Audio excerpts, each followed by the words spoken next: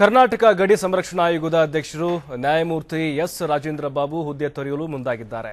ಈ ಸಂಬಂಧ ರಾಜ್ಯದ ಮುಖ್ಯ ಕಾರ್ಯದರ್ಶಿಗೆ ಪತ್ರ ಬರೆದಿರುವಂತಹ ರಾಜೇಂದ್ರ ಬಾಬು ಅವರು ಕೆಲವು ವೈಯಕ್ತಿಕ ಕಾರಣಗಳಿಂದ ರಾಜೀನಾಮೆ ನೀಡುತ್ತಿರುವುದಾಗಿ ಹೇಳಿದ್ದಾರೆ. ಇನ್ನು ನ್ಯಾಯಮೂರ್ತಿ ರಾಜೇಂದ್ರ ಬಾಬು ಅವರೊಂದಿಗೆ ಮಾತುಕತೆ ನಡೆಸಲು ಹಿರಿಯ ಸಚಿವ ಎಚ್ ಕೆ ಪಾಟೀಲ್ಗೆ ಸಿಎಂ ಸಿದ್ದರಾಮಯ್ಯ ಸೂಚನೆ ನೀಡಿದ್ದಾರೆ.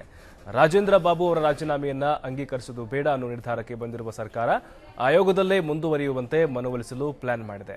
ಈಗಾಗಲೇ ಸ್ವಕ್ಷೇತ್ರದಲ್ಲಿರುವಂತಹ ಎಚ್ ಕೆ ಪಾಟೀಲ್ ಅವರು ಶೀಘ್ರದಲ್ಲೇ ನಿವೃತ್ತ ನ್ಯಾಯಮೂರ್ತಿ ಎಸ್ ರಾಜೇಂದ್ರ ಬಾಬು ಅವರ ಜೊತೆ ಮಾತುಕತೆ ನಡೆಸಲಿದ್ದಾರೆ ಅಂತ ಮೂಲಗಳಿಂದ ತಿಳಿದು ಬಂದಿದೆ.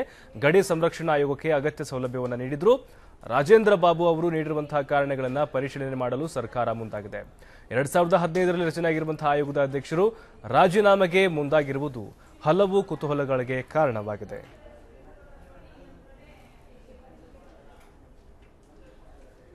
ಈ ಬಗ್ಗೆ ಇನ್ನಷ್ಟು ಅಪ್ಡೇಟ್ಸ್ ಕೊಡ್ತಾರೆ ನಮ್ಮ ಪ್ರತಿನಿಧಿ ಮಂಜೇಶ್. ಮಂಜೇಶ್, ರಾಜೇಂದ್ರ ಬಾಬು ಅವರ ರಾಜೀನಾಮೆ ವಿಚಾರ ಸಾಕಷ್ಟು ಕುತೂಹಲಗಳನ್ನ ಕ್ರಿಯೇಟ್ ಮಾಡ್ತಾ ಇದೆ.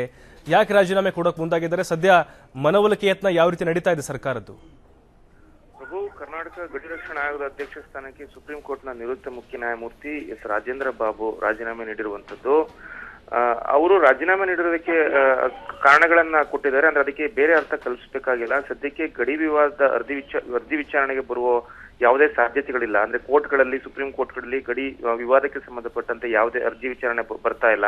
ಹಾಗಾಗಿ ಸುಮ್ಮನೆ ಕುಳಿತುಕೊಳ್ಳೋದಕ್ಕೆ ಮತ್ತು ಸರ್ಕಾರದ ಹಣ ತಿನ್ನಬಾರ್ದು ಎಂಬ ಒಂದು ನೈತಿಕತೆಯಿಂದ ನಾನು ರಾಜೀನಾಮೆ ನೀಡಿದ್ದೀನಿ ಅನ್ನೋ ಅಂಶವನ್ನ ಸುದ್ದಿ ಟಿವಿಗೆ ಅವರು ನೀಡಿರುವಂತದ್ದು ಮತ್ತು ಈಗಾಗಲೇ ಏನಂದ್ರೆ ಕೆಲಸ ಇಲ್ಲದೆ ಇರೋ ಕಾರಣ ಈಗಾಗಲೇ ಸುಪ್ರೀಂ ಕೋರ್ಟ್ನಲ್ಲಿ ಎರಡು ಬಾರಿ ಅರ್ಜಿ ಬಂದ್ರು ಸಹ ವಿಚಾರಣೆಗೆ ಬಂದಿಲ್ಲ. ಅದು ಪೋಸ್ಟ್ಪೋನ್ ಆಗ್ತಾನೆ ಇದೆ. ಸೊ ಈ ನೀಲಲ್ಲಿ ನಾನು ಇದಕ್ಕೆ ರಾಜೀನಾಮೆ ನೀಡ್ತಾ ಇದ್ದೀನಿ ಮಾತನ್ನ ನೇರವಾಗಿ ನ್ಯಾಯಮೂರ್ತಿ ರಾಜೇಂದ್ರ ಬಾಬು ತಿಳಿಸಿರುವುದು ಆದ್ರೆ ಈ ರಾಜೀನಾಮೆಯನ್ನು ಅಂಗೀಕರಿಸೋದಕ್ಕೆ ಸಿಎಂ ಸಿದ್ದರಾಮಯ್ಯ ಅವರು ಸುತರಾಮ್ ಒಪ್ಪಿಲ್ಲ ಸೊ ಅವರನ್ನ ಮನವೊಲಿಸಬೇಕು ಅಂತೇಳಿ ಈಗಾಗಲೇ ಹಿರಿಯ ಸಚಿವ ಎಚ್ ಕೆ ಪಾಟೀಲ್ ಅವರಿಗೆ ಸಿದ್ದರಾಮಯ್ಯ ಅವರು ಸೂಚನೆ ನೀಡಿರುವಂತದ್ದು ಎಚ್ ಕೆ ಪಾಟೀಲ್ ಅವರು ಸಹ ಬೆಂಗಳೂರಿನಿಲ್ಲ. ಬೆಂಗಳೂರಿಗೆ ಬಂದ ತಕ್ಷಣ ರಾಜೇಂದ್ರ ಬಾಬು ಅವರನ್ನ ಮನವೊಲಿಸೋ ಕಾರ್ಯವನ್ನು ಅವರು ಮಾಡ್ತಾರೆ. ಅದು ಯಾವುದೇ ಕಾರಣಕ್ಕೂ ರಾಜೀನಾಮೆಯನ್ನ ನೀಡಬಾರ್ದು. ರಾಜೀನಾಮೆ ನೀಡಿರೋದನ್ನ ಸಹ ಅಂಗೀಕರಿಸಬಾರ್ದು ಅಂತೇಳಿ ಸಿದ್ದರಾಮಯ್ಯ ಅವರೀಗ ತೀರ್ಮಾನ ಮಾಡಿರುವಂತದ್ದು ಎರಡ್ ಸಾವಿರದ ಹದಿನಾರರಲ್ಲಿ ಅವರು ತಮ್ಮ ಅಧಿಕಾರನ ವಹಿಸಿಕೊಂಡಿದ್ರು, ಸಾಕಷ್ಟು ಕೆಲಸವನ್ನು ಮಾಡ್ತಾ ಇದ್ರು. ಸೊ ರಾಜೇಂದ್ರ ಬಾಬು ಅವರು ಹೇಳ್ತಾ ಹೇಳ್ತಾ ಇರೋದೇನು ಅಂತಂದ್ರೆ, ನಾನು ಆಯೋಗದಿಂದ ಹೊರಗಿದ್ರು ಸಹ ಸರ್ಕಾರಕ್ಕೆ ನಾನು ಕಾನೂನು ಸಂಬಂಧಪಟ್ಟಂತೆ ನಾನು ಸಲಹೆಗಳನ್ನು ಕೊಡ್ತೇನೆ. ಇದಕ್ಕೆ ಬೇರೆ ಅರ್ಥವನ್ನು ಕಲ್ಪಿಸಬೇಡಿ. ನಾನು ಸುಮ್ಮನೆ ಕೂತ್ಕೊಳ್ಳೋಕೆ ಆಗ್ತಾ ಇಲ್ಲ. ನಾನು ವೈಯಕ್ತಿಕ ಕಾರಣಗಳಿಗೋಸ್ಕರ ನಾನು ರಾಜೀನಾಮೆ ನೀಡ್ತಿದ್ದೀನಿ ಅಂತೇಳಿ. ಆದ್ರೆ ಸಿ ಸಿಎಂ ಸಿದ್ದರಾಮಯ್ಯ ಅವರು ರಾಜೀನಾಮೆಯನ್ನು ಎಕ್ಸೆಪ್ಟ್ ಮಾಡ್ಕೊಳ್ಳೋದಕ್ಕೆ ಸುತರಾಮ್ ಇಷ್ಟ ಇಲ್ಲ. ಇವತ್ತು ಅಥವಾ ಇವತ್ತು ಸಂಜೆ ಒಳಗೆ ಎಚ್ ಕೆ ಪಾಟೀಲ್, ಸಚಿವ ಎಚ್ ಕೆ ಪಾಟೀಲ್ ಅವರು ರಾಜೇಂದ್ರ ಬಾಬು ಜೊತೆ ಮಾತುಕತೆ ನಡೆಸಿ ರಾಜೀನಾಮೆಯನ್ನ ಹಿಂಪಡ್ಕೋಬೇಕು ಅಂತೇಳಿ ಮನವೊಲಿಸುವ ಸಾಧ್ಯತೆ ಇದೆ ಪ್ರಭು. ಅಂದ್ರೆ ಮಂಜೇಶ್, ಇದೇ ಕಾರಣ ಅಥವಾ ಏನಾದರೂ ಅವ್ರಿಗೆ ಅಸಮಾಧಾನ ಏನಾದರೂ ಇದೆಯಾ ಅಂತ?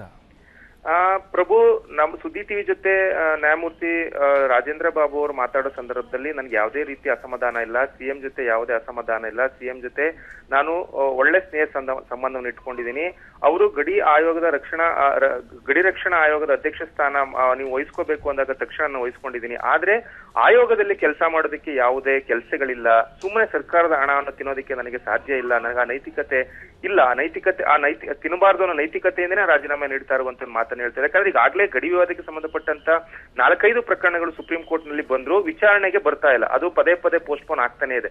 ಸೊ ನಾನು ಸುಮ್ಮನೆ ಆಯೋಗದಲ್ಲಿ ಕುತ್ಕೊಂಡು ಏನ್ ಮಾಡಬೇಕು ಅನ್ನೋ ಉದ್ದೇಶಕ್ಕೆ ಬಂದು ನಾನು ರಾಜೀನಾಮೆ ನೀಡ್ತಾ ಇದ್ದೀನಿ. ಇದಕ್ಕೆ ಬೇರೆ ಅರ್ಥವನ್ನ ಕಲ್ಪಿಸಬೇಡಿ ಅನ್ನೋ ಮಾತನ್ನ ನೇರವಾಗಿ ರಾಜೇಂದ್ರ ಪ್ರಸಾದ್ ಅವರು ನೀಡಿರುವಂತದ್ದು. ಆದ್ರೆ ಅವ್ರ ರಾಜೀನಾಮೆಯನ್ನ ಅಂಗೀಕರಿಸೋದಕ್ಕೆ ಸಿಎಂ ಸಿದ್ದರಾಮಯ್ಯ ಅವರು ಸುತರಾಮ್ ಒಪ್ತಾ ಇಲ್ಲ. ಇದಕ್ಕೆ ಎಚ್ ಕೆ ಪಾಟೀಲ್ ಅವರು ಈ ಒಂದು ವಿವಾದದ ಮಧ್ಯೆ ಬಂದಿದ್ದಾರೆ. ಅವ್ರು ಇದನ್ನು ಪರಿಹರಿಸ್ತಾರ ಅನ್ನೋದನ್ನ ನಾವು ಕಾದ್ ನೋಡ್ಬೇಕು ಪ್ರಭು. ಅಂದ್ರೆ ಮಂಜೇಶ್ ಈಗ ಎಚ್ ಕೆ ಪಾಟೀಲ್ ಅವರ ಮಾತುಕತೆ ಮೇಲೆ ನಿರೀಕ್ಷೆ ಮಾಡಬಹುದು ಅಂದ್ರೆ ಅದಾದ್ಮೇಲೆ ಫೈನಲ್ ರಿಸಲ್ಟ್ ಏನಂತ ಗೊತ್ತಾಗುತ್ತೆ ನಮಗೆ? ಖಂಡಿತವಾಗ್ಲೂ ಪ್ರಭು ಈಗಾಗಲೇ ನ್ಯಾಯಮೂರ್ತಿ ರಾಜೇಂದ್ರ ಪ್ರಸಾದ್ ಅವರು ತಮ್ಮ ಸ್ಥಾನಕ್ಕೆ ರಾಜೀನಾಮೆ ನೀಡಿದ್ದಾರೆ. ಆದ್ರೆ ಸರ್ಕಾರ ಅದನ್ನ ಅಂಗೀಕರಿಸಿಲ್ಲ. ಈ ಒಂದು ವಿವಾದವನ್ನ ಬಗೆಹರಿಸೋದಕ್ಕೆ ಸಿಎಂ ಸಿದ್ದರಾಮಯ್ಯ ಅವರು ಸಚಿವ ಎಚ್ ಕೆ ಪಾಟೀಲ್ ಅವರಿಗೆ ನೀಡಿದ್ದಾರೆ. ಎಚ್ ಕೆ ಪಾಟೀಲ್ ಅವರು ಇವತ್ತು ರಾಜೇಂದ್ರ ಪ್ರಸಾದ್ ಅವರ ಜೊತೆ ಸಮಾಲೋಚನೆ ನಡೆಸಿ ಅಂತಿಮ ತೀರ್ಮಾನಕ್ಕೆ ಬರ್ತಾರೆ Prabhu. Okay thank you Manjesh ತಮ್ಮೆಲ್ಲ ಮಾಹಿತಿಗಾಗಿ.